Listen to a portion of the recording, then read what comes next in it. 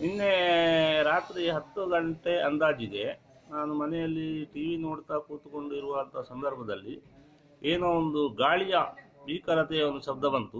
ಬಂದ ಮೇಲೆ ಭಾರಿ ಒಂದು ಸಣ್ಣ ಶಬ್ದ ಬಂದು ಮತ್ತೆ ದೊಡ್ಡದಾದ ಭೂಮಿ ನಡಗುವಂಥ ಒಂದು ಶಬ್ದ ಬಂದಿದೆ. ಅದು ಯಾವ ರೀತಿ ಬಂದಿದೆ ಅಂತ ಹೇಳುವಂತ ನಮಗೆ ಗೊತ್ತಿಲ್ಲ. ಆದರೆ ಕೆಲವರೆಲ್ಲ ಫೋನ್ ಮಾಡಿ ಕೇಳುವಾಗ, ಎಲ್ಲಿ ನಮ್ಮಲ್ಲಿ ಆಗಿದೆ ನಮ್ಮಲ್ಲಿ ಆಗಿದೆ ಅಂತ ಹೇಳಿದರು.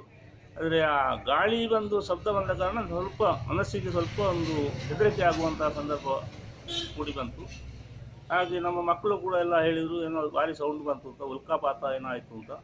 ಅಂದರೆ ನಾವು ನೋಡಿದ ನನ್ನ ಜೀವಮಾನ ಅಂದರೆ ಫಸ್ಟ್ ಅನುಭವ ಇದು ನಮ್ಮ ಹರಿಹರದಲ್ಲಿ ಆಯಿತು